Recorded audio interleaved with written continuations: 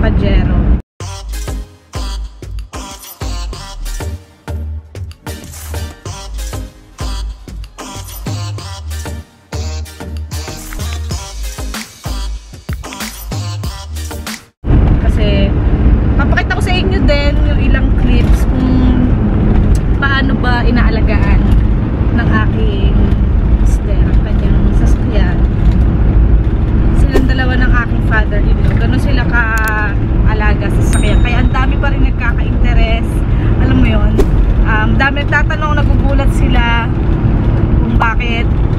ganun, ganun pa rin kakinis yung Pajero nila Ayan, nandito kami ngayon sa Skyway.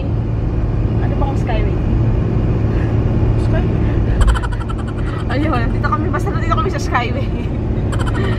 Kasi papunta kami sa ah, Banawe, sa Quezon City. So, ah, papakita namin sa inyo kung saan sila nagpapagawa every time na magkakaroon ng sira itong Pajero. So, pwede kayong punta doon kayo ay talagang ano, ganun kaalaga. Ah, subok na nila kasi talaga. Through the years, doon sila nagpapagawa. And maganda ang kanilang service.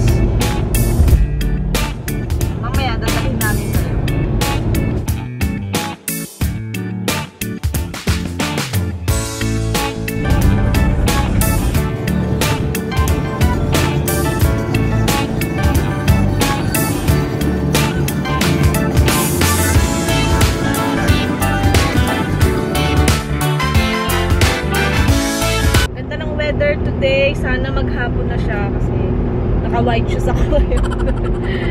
Para naman hindi masaya yung aking mag-Stan Smith na white. Malapit na yata tayo, daddy. Malapit na tayo. Ayun nga, yung kanina pinag-uusapan natin ay yung sa Pajero nila na super smooth, ganun takbo, and super kinis. Hindi naman siya totaling makinis, pero ah, ang dami nagsasabi na mukha pa rin siyang bagong model. So, isa sa mga napapansin ko talaga is yung pagiging OC ng aking asawa.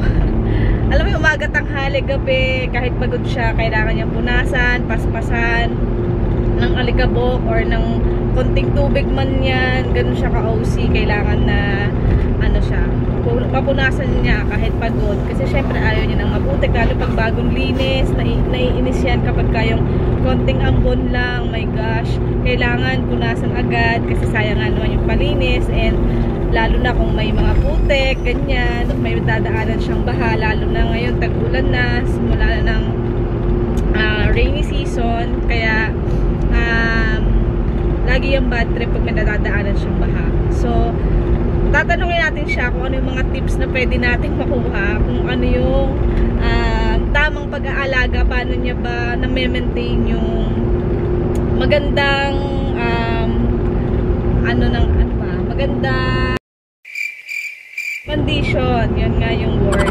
Condition ng sasakyan na isipin mo 1998 model pero sobrang ganda pa rin, alam mo yun.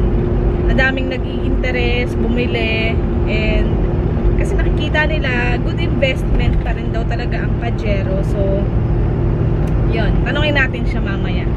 Pero pwede na ngayon, no? Pero habang nagde-drive siya, pwede naman siya sumagot. Ha? Ay, mamaya na lang pala. mamaya na natin siya tanungin. Habang, ano, pagka nandun na tayo sa, ano, sa may mekaniko. Kasi may papacheck lang din siya Kasi ganun nga siya kaalaga. Konting, alam mo, konting kuskus, konting lagutok dito sa loob ng sasakyan. Ako kasi hindi naman ako, syempre, uh, car enthusiast. ako sakay-sakay lang talaga. Matutulog lang ako dyan. Siya hindi, pagka kasi sa ulado, sa ulado mo na yung sasakyan mo, talagang uh, mapapansin at mapapansin mo yung kahit kaliit-liitang at detalye kung merong maliba sa tunog ng sasakyan. So, ganun siya. Ganun siya ka busisi.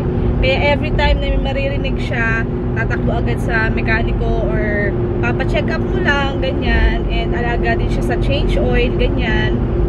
And yun, namaya, tanongin natin yung iba pang mga tips na pwede niyang mabigay sa mga um, katulad niya na uh, maalaga din sa sasakyan. Baka kasi, alam mo yun, para ma-maintain nyo rin yung good condition. Though, uh, luma na yung model ng sasakyan ninyo ay magmukha pa rin siyang So, pa-exit na kami ng Quezon Ave. Dahil, siguro mga in 10 minutes, 5 minutes, malapit na tayo sa pagawaan ng sasakyan.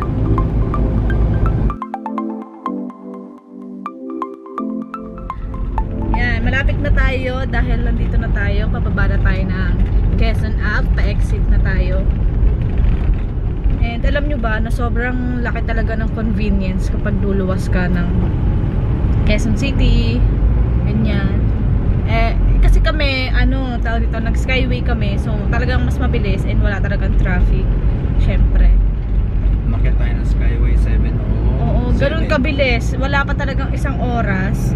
Wala pang isang oras talaga yung pagluwas mo. Kaya, uh, perks din na, na nagkaroon ng pandemic, hindi naman ano, uh, kakaunti lang yung sasakyan or talagang na solusyonan yung traffic. Yun lang ano natin. So mag-face mask muna ako kasi baka mapulot tayo mga kaibigan.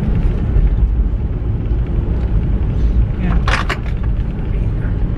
So dito na kami and ang tawag dito malapit na malapit na tayo sa mga luluwas, lalo na nandito na kayo sa bandang ano, Quezon City, Manila, ganyan. Um,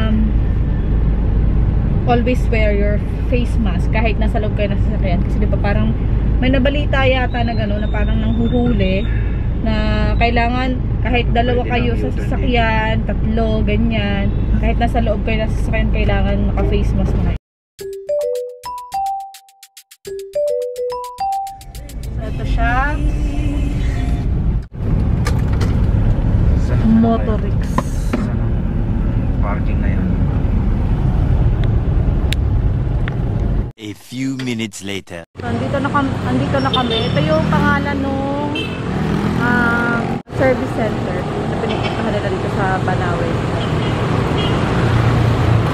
Ano, tingnan nyo naman gaano pa kaganda yung ano, ganyan sa kaalaga. Oh. Ito naman, may mga kainan dito. Kung sakaling magutom at matagalan ng service, maraming mga turog-turog dyan. Hmm, lugaw yata yun. Hi! Yan. Kinis pa siya. Sobrang alaga kasi talaga na ito.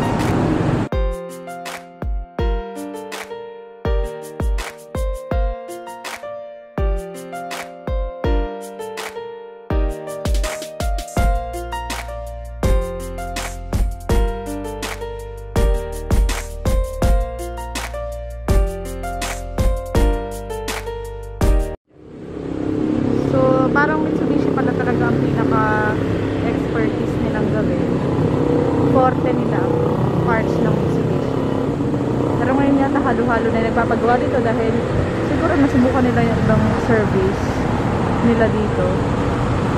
So, talagang pinapalitan sila.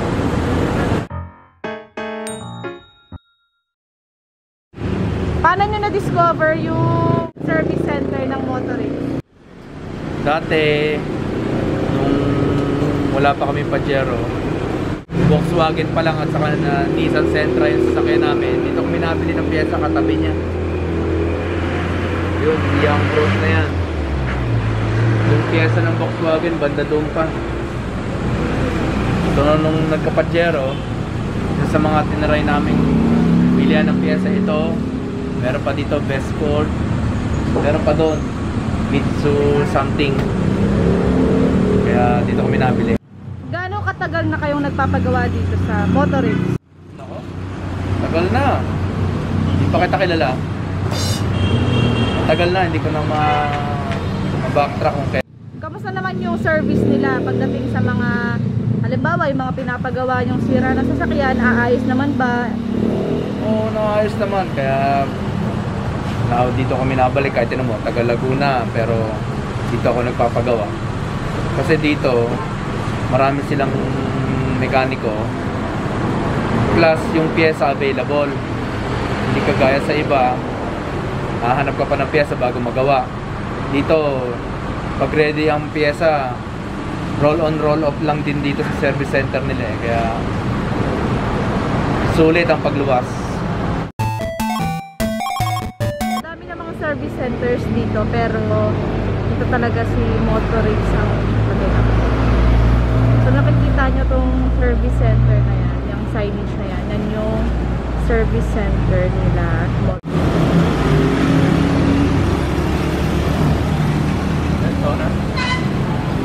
A few minutes later.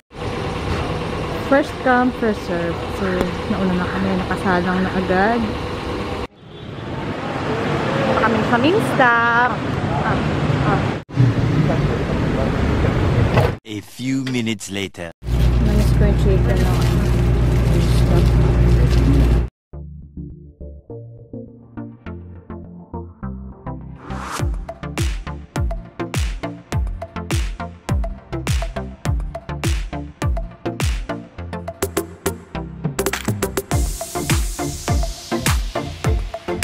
One eternity later. Alam niyo ba, nakakatuwa pa dito sa Motorix. Ang gagalang ng mga tao. Tapos, pag medyo matagal yung gagawin sa sasakyan nyo, ano kayo libre mineral water. Di ba? Ganun sila ka hospitable and ka accommodating. Ayun, pati kanin pala. Pag inabot ka ng lunchtime dito. Pero yung ulam, hindi na. Ba ko ng delata. Kasi sabihin naman nila sa'yo kung matagal yung gagawin. Kaya yun, enjoy rin pumunta dito. Marami naman makakainan din. Eh, gaya ng kami ni stop. Malapit lang naman. Ito na nga po ang libreng tubig. At wag ka samit yan. Mm. Yan naman si Ate Tona. Ang. Time check, 10.23. Ayan. Medyo madami na sasakyan. Kanina kami pa lang nila. Ganun sila pinupunta ng tao. Waiting area. May social distancing. May malalaki ng electric fan. Hawaii! 11.39 na ng umaga. Inabukan na kami ng ulan. Buti na lang kumain kami sa minister. Kung ma... puputol pa yung ano. Ano, ma- umuulan talaga. Right. Ayun na si Doggy. Kaya kamot. Ano ang naging problema nung Pajero? Sabi nung mekaniko. May mga pinalitan na ano, ng mga oil seal plus yung steering pump palit ng repair kit. The Pajero is still there. Ooh! Mabuti na lang may malaking electric fan. Meron kaming cellphone. Yan. Pero pwede naman makicharge. So, Panibagong set of water. Another set of water. Yan, bigay nila. Refresh naman. Kanina sa amin. Buti na lang meron tayong baong butter coconut. Hindi, nga nga, 107 na. Kanina pa kaming alas 8 dito. 2,000 years later. Grabe, finally after 7 hours. Um, tapos na kami dito. Alam niyo ba, hindi kami nakapag-lunch, pero hindi kami inabot ng gutom kasi kapag... ah, Hindi, kumain kami kayo na sa 7, ay, sa 7-Eleven, sa mini stop. And rice and chicken ang aming kinain. Kaya, yun, medyo busog pa naman kami. And may kutkutin kami kanina, yung butter coconut namin. Tsaka, nakadalawang set kami ng mineral water. Pero at least, di ba, ganun sila ka-generous sa mga clients nila. So, okay lang din, kahit matagal. Nakakainip lang, kailangan talaga meron kang cellphone para makapaglaro ka or makapag FB man lang, YouTube, ganun. So yun, um, we are on our way to saan tayo pupunta? Siguro kung ano, fisher mall kami, um, try na humanap na makakainan. Ito si Mandawe Foam Furniture Center. Nakita ko lang yan sa Facebook.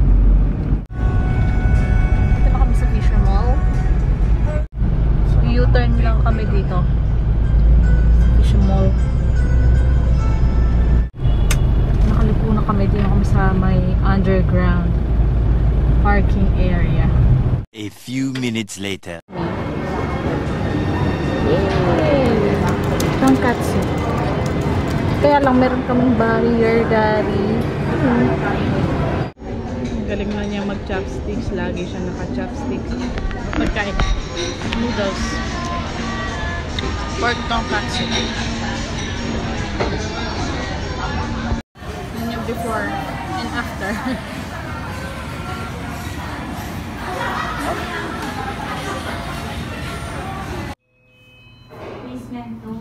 Thank you. Kamali po kami ng baba. Walang katao-tao dito sa parking. Kaya pala, kaya pala yung tanong niya parang sarcastic.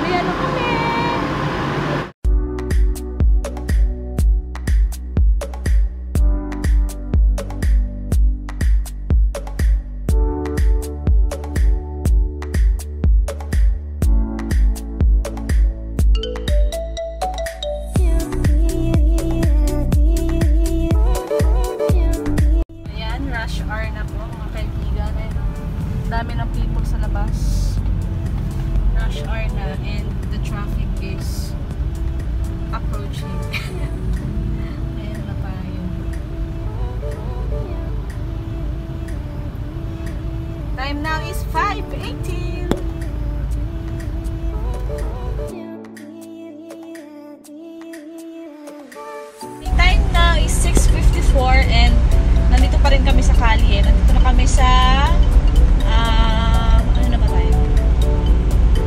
Ay, lumagpa na kami sa, ah, nasa Sana Heights na kami.